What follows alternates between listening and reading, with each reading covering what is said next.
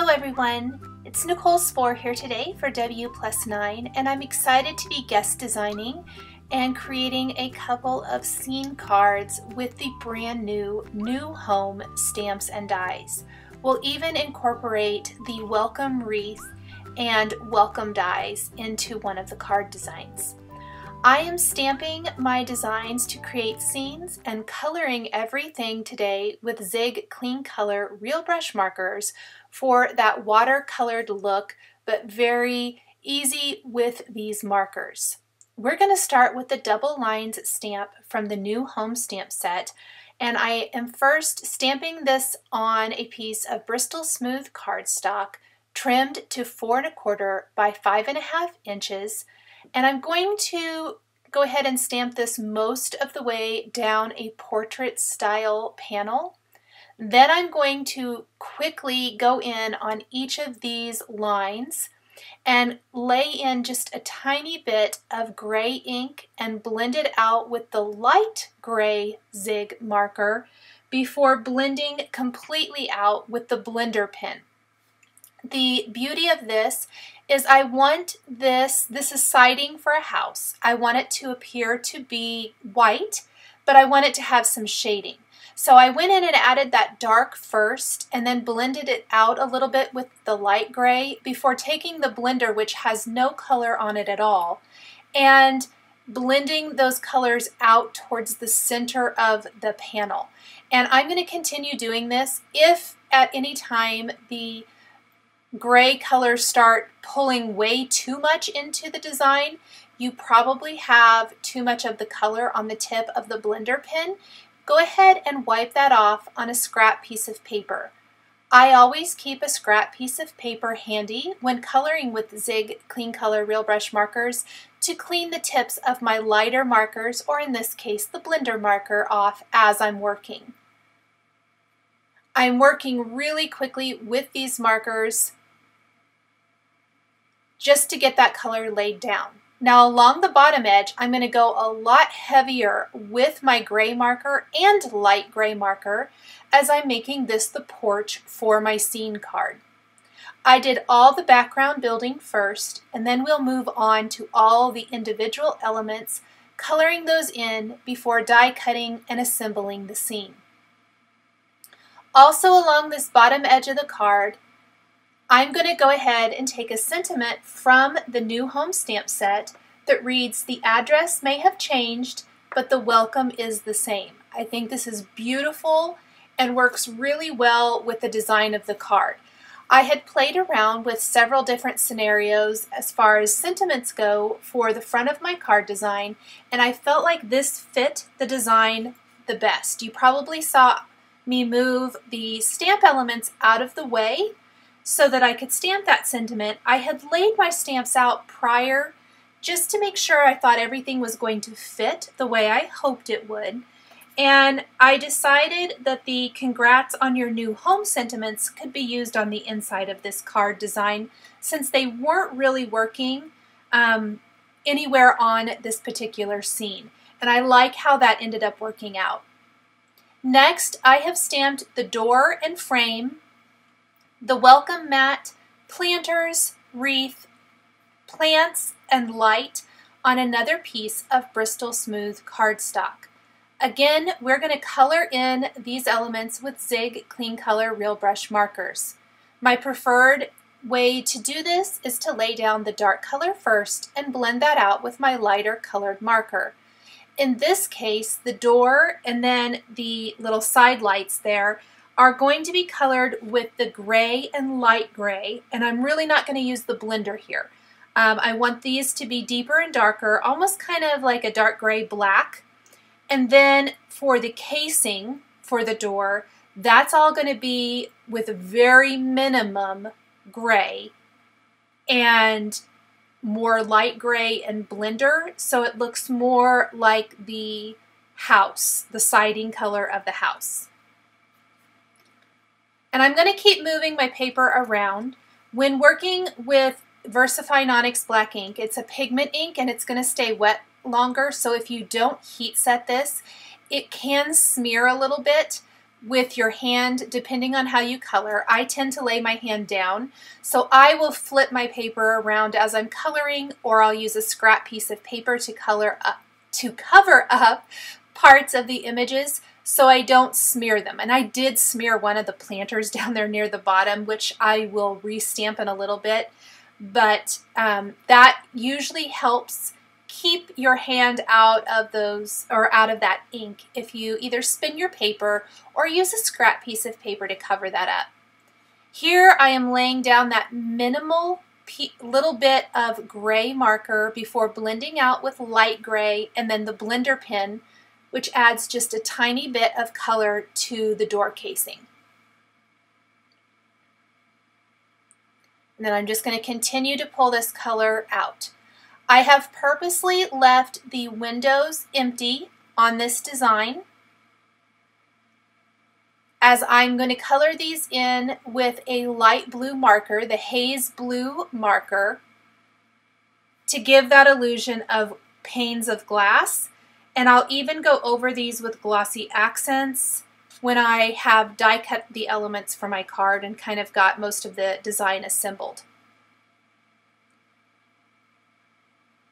I love this house builder set because there's so many different ways you can build a front porch and I just really am a huge fan of scene cards so this really speaks to my scene building heart.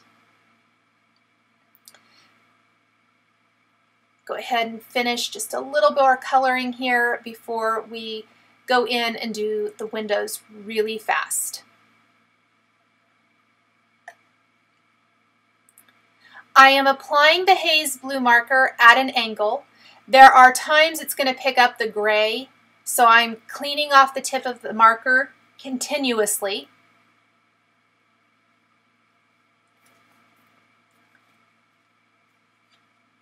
And then I was so anxious to see how this was going to turn out. I did go ahead and die cut the window casing and the, the door and everything. And I'm going to lay this out on my card just to kind of see spatially how it's working. Now, originally I did not think about using the glossy accents on the windows, even though I am a huge fan of always doing that. So I went in with a sparkle pen and added some little diagonal lines just to help with like the glass reflection. But I will cover that up with the glossy accents, but it will still be visible through the glossy accents. Let's go ahead and do the welcome mat. I wanted this to kind of look like a natural welcome mat, so I'm using mid brown and beige to color this in. I'm going to let this dry completely before stamping the welcome mat with the welcome greeting from the new home stamp set using a clear embossing ink and heat embossing with white embossing powder. The light itself I'm coloring in with gray and light gray. And then we have the greenery. This is really, these are small images, so I used really quick coloring to color these in. We're going to do some kind of blue and teal kind of planters for this card and then some darker greens for the greenery. I have a couple lighter greens out here, but I opted not to use those today. And instead I'll be using some little bit deeper greens. I think it goes better with the rest of the colors used in the design. I'm just laying down my color and I went with how I usually do it and lay down the dark color and then the light.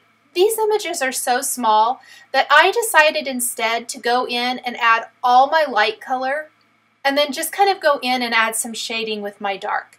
Um, not super precise or anything of that nature, just trying to get a little bit more depth and dimension in these designs.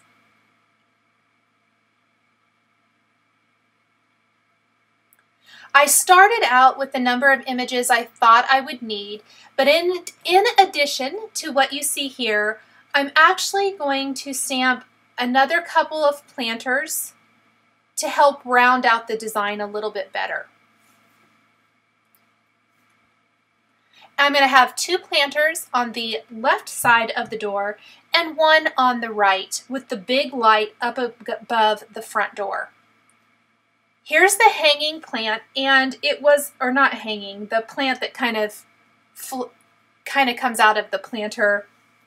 Um, and I decided there are some flowers on this. It was a little hard to tell. I actually just went over the green with my deep red marker, and that added a nice little punch of color to all the greenery. We can die cut these images with the coordinating dies now and also stamp that welcome on the welcome mat that I mentioned a second ago. Because the zig markers are water-based markers and might stay wet a little longer, make sure that your embossing powder hasn't migrated to any of the stamped or colored images before you heat set that. I wiped away any excess powder with a paintbrush. I'm ready to start assembling the majority of my design. I can always go back and add a few additional pieces. So I'm going to adhere my door casing and door directly to the house background with my welcome mat right there at the front door. And that really is looking nice. I love how the sentiment along the bottom edge of the card works with that.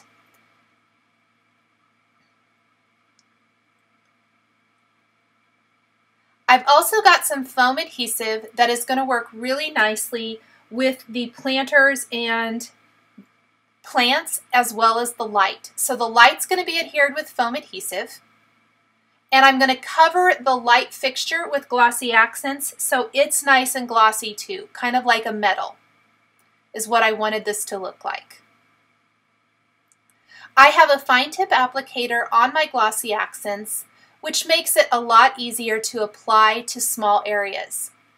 I'm also going to go ahead at this time and adhere this, or apply this rather, to the window panes in the side lights and door so this can start drying. You'll have to be a little careful to keep your hand out of it, so if you feel more comfortable, you could always wait and do this at the very end. I knew I was going to have a few elements that are going to overlap this, and I wanted to go ahead and get this drying so that when I get to the point where I can adhere my plants and wreath to the design, the glossy accents is already dry. It will dry fairly quickly and I'm applying a fairly thin layer all over these windows. I don't want it to be super thick because I do want it to dry fast.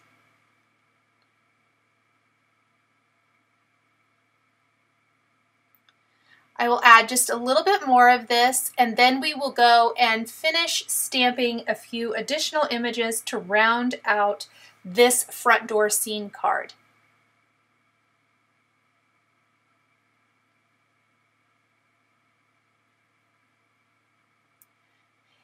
I did all the same planters for this card, so two of the large and one of the small. Two are going to be kind of this more tealish blue color, and then we'll have one that's a little more bluish. I did try out this color combination and felt like it was a little too bright blue, so I'm just going to save that for another card and use the deeper blue one that I colored originally. Now I'm adhering the planters directly to the scene and applying the greenery and plants with foam adhesive. Again, this just adds that nice little bit of depth and dimension. And there is the front of this adorable scene card. I absolutely love this and I love building these front porches in all kinds of ways. I think it's just very, very cool.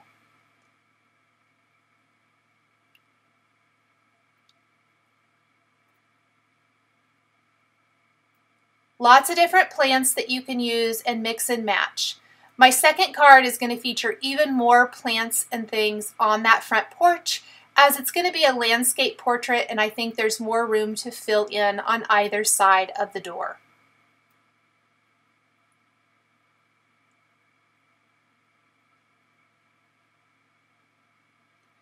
Don't forget to add the wreath to the front door here. I think that really balances out the design since there's so much going on on the bottom half and that adds a nice little punch of color up in the upper part of the card. For my second card design, we're going to do a more natural colored siding on the house with a blue door And then we're going to use a die cut sentiment from the Welcome Dies and another stamped sentiment from the Welcome Wreath stamp set. Just like before, we are going to stamp the double lines from the New Home stamp set all across this panel using VersaFine Onyx Black ink, but this time we're doing the landscape format. I found it was easiest to use an acrylic block, but you could use a stamp positioner tool if you wanted to as well. I eyeball eyeballed it and didn't worry too much about it being exactly perfect. For the door here, you can see I've already pre-stamped a lot of the elements I'm going to be using for this design. I'm going to color this in with blue markers this time instead of the grays. This is going to add a little bit more punch of color to the side lights in the door. Really quick coloring with my deep blue and shadow mauve.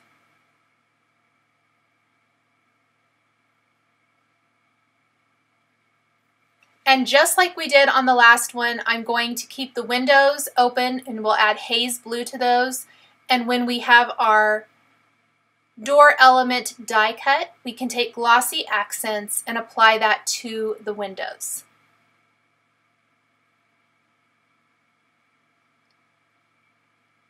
So I'm adding color to the window panes with my haze blue marker.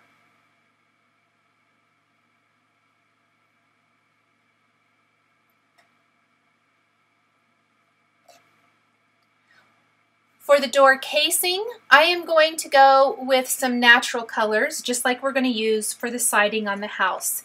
This time using beige and medium beige with the blender to add that color.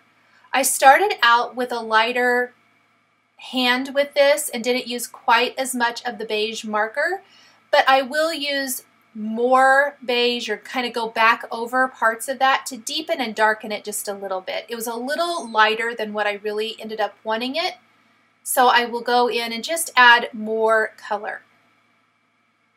These are water-based markers, so you don't want to go over them too many times as it can run the risk of pilling the paper, but the Bristol Smooth cardstock is pretty forgiving and works really great with this technique.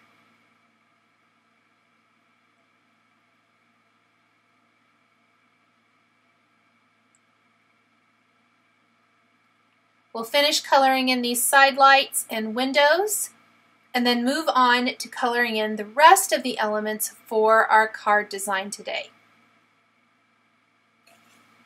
For this one, we're going to have two planters on each side of the window, a hanging planter, and then instead of one big light coming down over the front door, we're going to have two side lights. I love that there are a couple of different options for this in this stamp set for building, again, lots of different scenes. I used most of the elements from the New Home stamp set, but I didn't use the bench, so there's even another option there. You can see I've already added color to the background of my card. I didn't worry about the center of the panel here because that's going to be covered up with our door. I'm adding that same gray and light gray color to the front porch before gluing down our front door into the center of this landscape style card. Just like before, I want to go ahead and get that glossy accents drying so that I can apply the rest of my elements when I get ready to do that.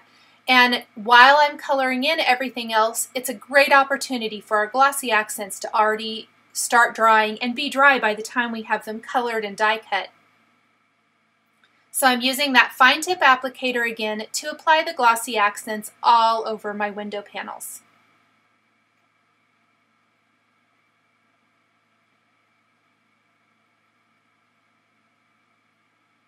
Now we're ready to color in our planters. This time I'm using deep red and pale rose to color in these planters with kind of a deeper reddish color.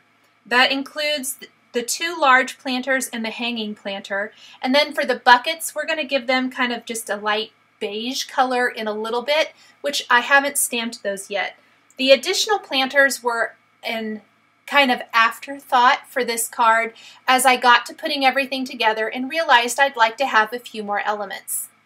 The two lights were colored with gray and light gray, and then again, all the greenery was quickly colored in with my light color first, and then I went back with my dark color and even a little mid-brown if I needed it, and colored in, just kind of touched the dark marker to that area to give it depth and dimension.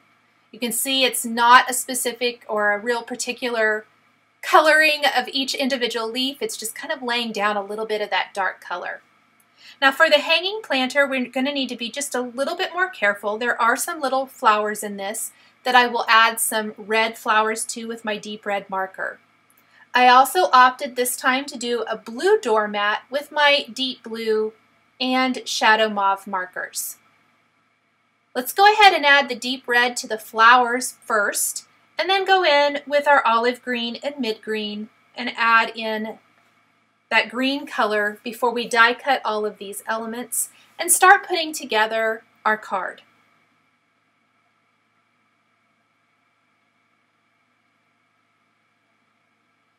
I'm adhering the hanging planter and any of the planters and buckets with foam adhesive, and that also includes the side lights on either side of the door.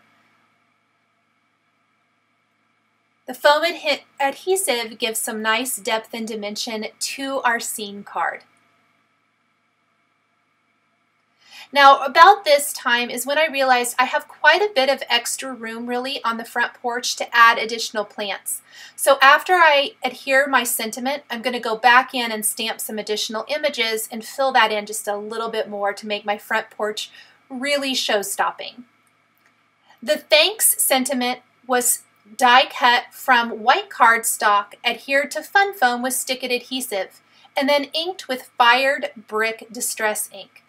I inked it with this color as it kind of mimics the colors of the planters quite a bit. So it's going to pull in a little bit more of that deep red into my card design and show up nicely over the door. We're going to lay this over the door and the foam adhesive makes that die cut sentiment pop. This is from those Welcome Dies collection that coordinate with the Welcome wreath. On a piece of black cardstock, I'm going to stamp For Your Hospitality with clear embossing ink and heat set with white embossing powder. This is going to be trimmed into a thin strip after it's been heat set and adhered underneath the thanks sentiment with a foam adhesive strip. So I've got one card that's more for um, someone who is celebrating moving into a new home, and this one works for a thank you card. I think there are so many different sentiments you can use with this scene builder set. I'm just really very excited about it. So I have adhered these elements. I did decide to go over the thanks then with glossy accents to really make that sentiment pop. Again, the fine tip applicator on here makes applying the ink to this really fun scripty die cut very easy. I want to get that glossy accents drying, so I'm going to apply that before I stamp the rest of my planters and plants and color those in. I've also stamped and embossed the welcome mat with the welcome sentiment from the new home stamp set. We've got a couple of plants and then we're going to use the bucket planters this time, and I'm going to stamp that twice and color that in exactly the same. For the bucket, we're going to use a little medium beige and beige markers with the blender. So the beige is used very, very sparingly. We're going to use mid-green and olive green for any of the greenery here.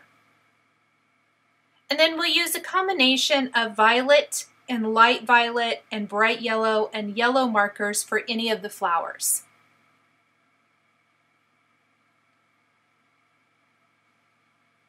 You can see there's very little beige added, then it's pulled out with the light or medium beige, and finally blended out with the blender pen to give those buckets just kind of a, a little bit of a nice ivory look.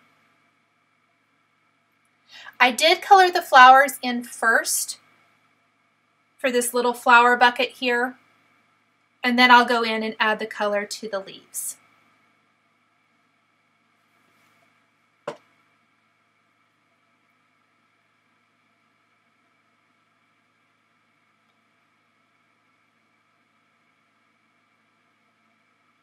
We will die cut these with the coordinating New Home dies, and then these are going to be adhered with foam adhesive squares as well.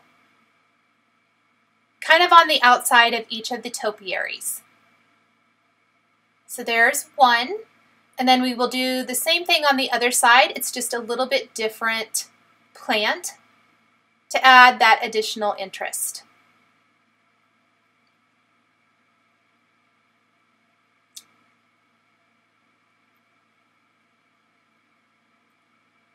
Once the glossy accents is completely dry, I did take a white pen and kind of go back over the glossy accents right on top of it and draw in those diagonal lines so that the glass looks like it is reflecting the light.